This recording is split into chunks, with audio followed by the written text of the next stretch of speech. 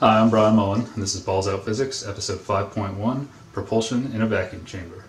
Now, the last episode, in episode 5, I uh, stated that space sucks, and uh, a lot of people said that that's not true.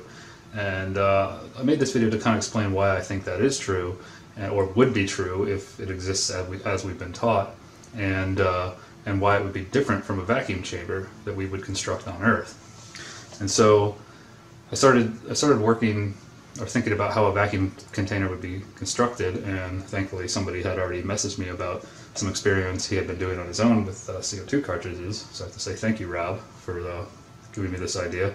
But um, uh, I, th I, thought about a CO2 cartridge, and uh, the CO2 cartridge somehow suspended in a chamber, in a vacuum chamber, like this.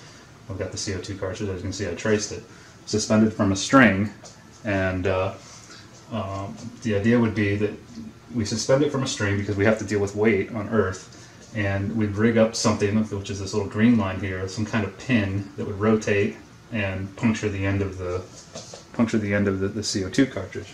Okay, and that would spray um, spray the, the contents of the CO2 cartridge out, and we'd be able to test whether it works or not. But thinking about this, thinking about how a CO2 cartridge works, Right now in this CO2 cartridge, there is compressed carbon dioxide. And the, the carbon dioxide, the, gas, the compressed gas, is pushing on the inside of the container, kind of like I showed in the last video with the compressed oxygen. Okay, But at the same time, the air pressure, the 14.7 psi that I, I also pointed out was considered atmospheric pressure, um, is pushing back on the container. So the net difference between the CO2 pushing on the inside of the container and the, the, the, atmospheric pressure or the air pressure pushing on the outside of the container is how you determine what force is on the actual container. And then the container has to be strong enough to resist that force or it would, you know, it would rupture. And so since you know if you, if you puncture the end of this, this CO2 cartridge, uh, all the CO2 is going to come flying out. If you had it in your finger, that would want to shoot out of your fingers, right? And I believe that's because, yes, the, the, the thrust is, is creating a reaction on the CO2 cartridge and pushing it, but also the CO2 is pushing against the air, and the air is pushing back. Okay? Whereas in a vacuum, I don't think you would have that. But then you've also got the vacuum chamber to construct, and that is basically done in the exact opposite way. Okay, so you have this vacuum chamber that I just drew as a big box here, I actually got this idea from, from watching something Mythbusters did. And uh, um, you'd have to have a pump on it to suck all the air out. Now to visualize how that would work in reverse, you can just use a bottle. Okay, and no jokes about this. But if when you go to suck the the air out of the bottle, you're sucking the air out, which is which is pulling on the inside of the walls, and the atmospheric pressure is also pushing on on the outer wall. So when you suck collapses, right? So you have to build this chamber to be strong enough to resist that, that outside pressure pushing on the walls. Excuse me, actually, actually I think all the force is from the, uh, the outside pressure pushing in. When you try to suck it in, that's, that's when you really experience the air, the weight of the air, or the pressure of the air on the outside of the container because you're pulling the pressure out from the inside, creating the pressure differential. All right?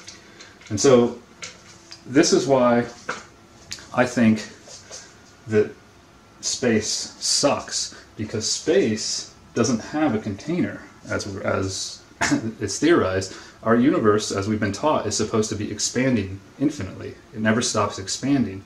So space always has more space to expand into. So any propulsion that's sprayed out into space is just going to expand infinitely with the rest of space. There's no way for pressure to develop. See what I'm saying? And so to, to create this vacuum chamber, the first thing you would do before you run the experiment is turn on the pump to suck all the air out. Okay, so all the air in the container gets sucked out.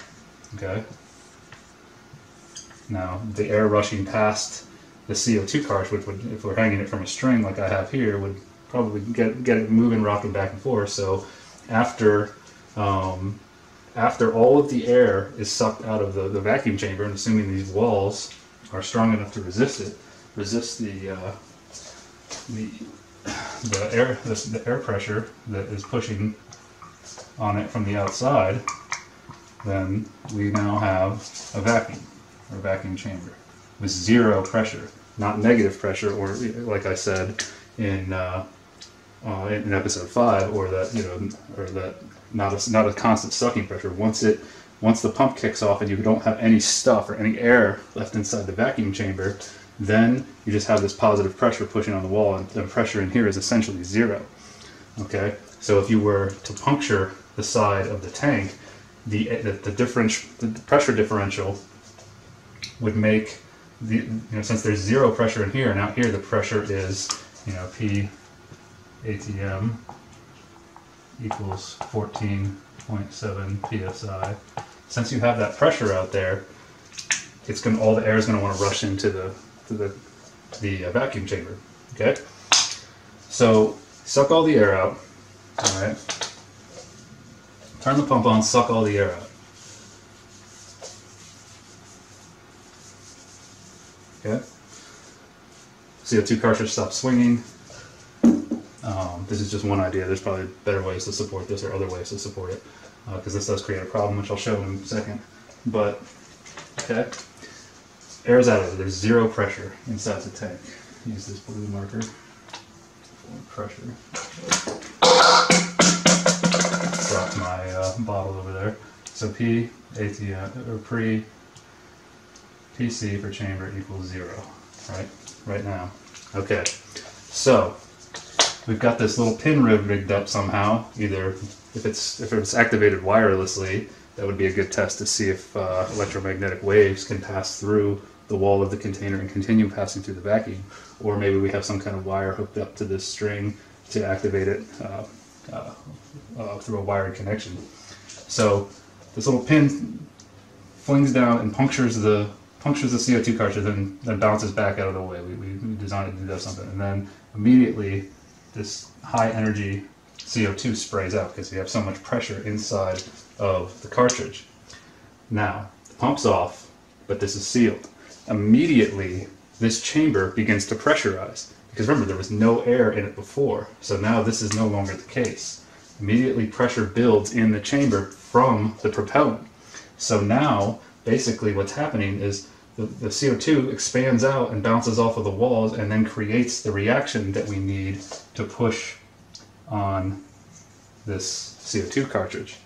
So, in my opinion, building a vacuum chamber on Earth isn't the same thing. I don't think we can build an, uh, a vacuum chamber on Earth that would simulate what outer space is supposed to be, as we've been taught. But I did, I, I did think about it a little more, and I said, okay, well, could we do this?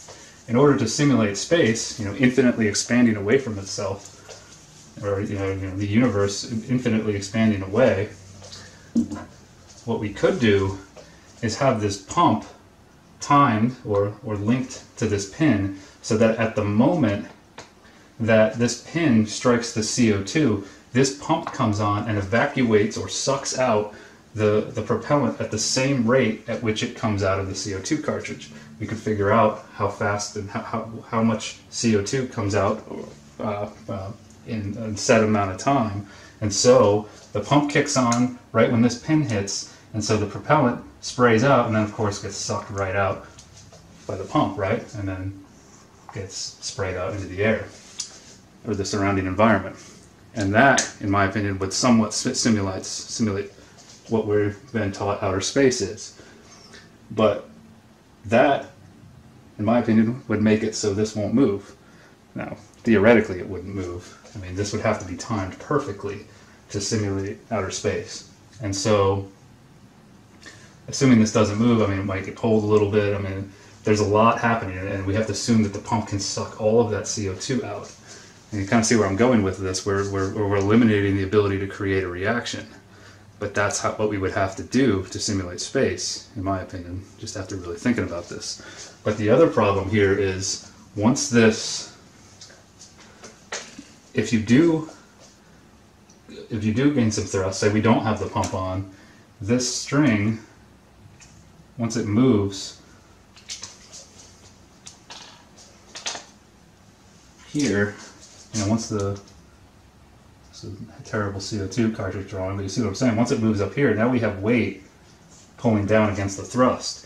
So a string might not be the best way to do this. There might be better ways, but that's the other problem. On Earth, we have to deal with weight, whereas in space, as it's theorized, it's weightless, so we don't have that problem. Okay? So this is why I say space sucks, because it does not have a container. Okay? So another thing I was thinking about, though, is to go back to the action-reaction.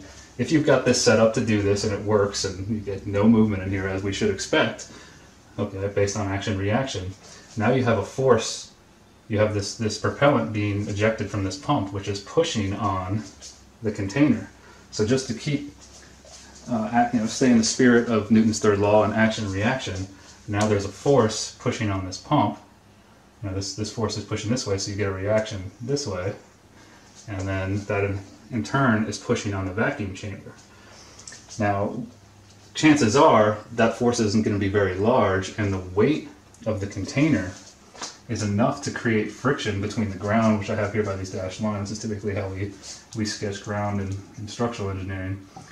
This you'll have a, a, the the weight of the container multiplied by a, a friction coefficient will give you a resulting force of friction here, which will resist that force and keep it from moving.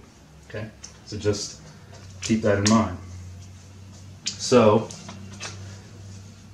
this is why I don't think we can even really, I mean, this would be so hard to time and do, and we're essentially defeating the purpose of the propellant by sucking it out as it's sprayed out of the CO2 cartridge. But the, the point of, of doing this episode is to show that, that it, when something, when the, when the, the CO2 leaves the, the, the cartridge in, in space, or what it would be compressed oxygen, but this is, this is a pretty good representation of how those little jets work when the, when the, air, the, the oxygen is sprayed out into space, it just expands with space. There's nothing to push back. Whereas if you didn't have this pump on, as I've got shown here, you don't have the pump on, then then uh, you know the, con the container fills with uh, with with the CO2 propellant, and it becomes pressurized again, and so that would affect this. It would create uh, a reaction, and you would probably see the CO2 cartridge move. So, just wanted to go over that real quick and explain why I said space sucks and why it wouldn't suck in a container unless we had the pump turned on. So, so thought I'd make this short video and uh, to continue thinking about the action-reaction process. I'm planning to do another sub video, uh, 5.2, in which I want to I want to I want to use a spring in lieu of the uh, of the compressed gas to simplify things and uh, to show why I don't think con conservation of momentum would would work or, or, using that principle would would uh, would show that the that the uh, that the gas could propel the spacecraft because it's really based on I mean the conservation of momentum is really based on Newton's third law. So until next time, we'll uh, keep looking at this problem and uh, get into some different stuff with episode six. So uh, see you then. Peace.